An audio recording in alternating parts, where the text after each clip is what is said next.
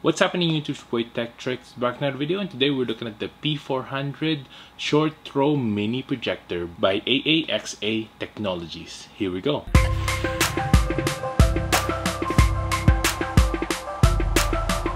First things first, make sure to hit that subscribe button below, hit the notification bell so you could be notified of next videos come of tips and tricks and unboxing just like this one. Check out my merch below at 1130.ca. Hit the like button as well so we can beat that YouTube algorithm. Without further ado, let's go ahead and show you what this thing can do. Basically, it's a short throw mini projector that you could bring anywhere with you because as you could see even the box is pretty small. Let's see how well the projector does even with the small size. Here we go. It says here that it is good for native resolution is 1080p. Uh, brightness has an LED source as well and a 2 hour battery life. It also has a 0.7 to 1 short throw projection. For projectors, of course, the bulb is the key here. And because it's LED, it'll be able to do 30,000 hours of LED life. But it's only good for 400 LED lumens. So we're gonna test it out today and see how well it does. Got some literature right here. Comes with a tripod little stand there. Power adapter right here. Remote as well. And as you can see, compared to my hand, it's pretty small. Not bad at all. This is the front of the P400. It has the front firing speakers as well, as you can see here. And the bottom has a tripod mount as well. On the side, it has few ports here. There's the on and off button here, the port that where you could charge it, an aux in slot. There's the HDMI slot as well, and the focus ring. There's speaker grills as well on both sides and this one has the USB and the back has the IR blaster and the micro SD slot. The top has the touch capacitive controls as well so you don't really need a remote but it does come with a remote. Now let's test out the speakers right now it's in 50%.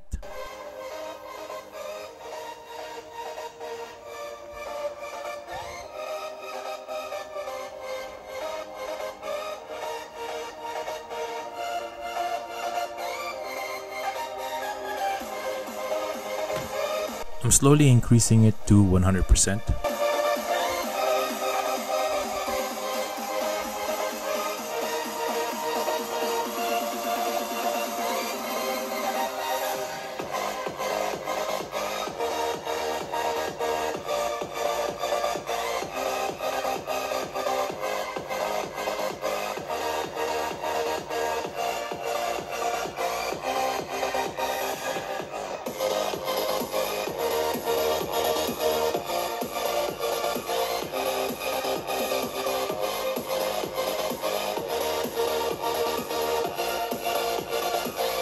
Now let's test it out now that all the lights are turned off.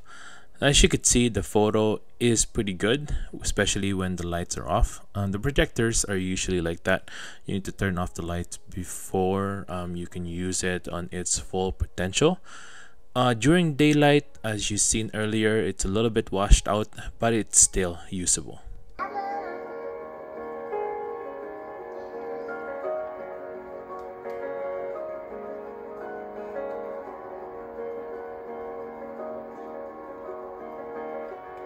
Now let's play some games. Let's play some Warzone. I was a bit worried in the beginning because I know projectors are, are slow on the latency, but this actually uh, is not that bad. Um, it's definitely usable.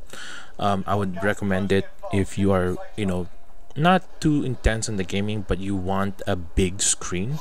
Um, the latency is pretty much one to one. There's no uh, noticeable lag at all on the controls. That is really good. I said this would be great if there's a party at your house and you want to play multiplayers um, on a Nintendo Switch or something like that. Now let me know in the comments below how well it does. Um, like I said, it's a small projector. It's also battery powered and I would recommend it if you want a portable short throw projector. Uh, definitely a must buy uh, by P400. You need to connect something on the HDMI because it doesn't have a built-in mirroring or anything like that. It's just a uh, pretty basic on the software there.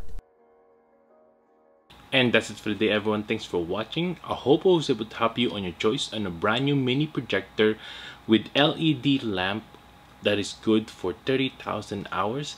This one is from AAXA Technologies. If you want to get one of these, I'll link this down below, so go ahead and check that out. Make sure to subscribe to my channel, hit that like button as well so we can beat that YouTube algorithm. I hope you guys have a good day and stay grateful. Peace.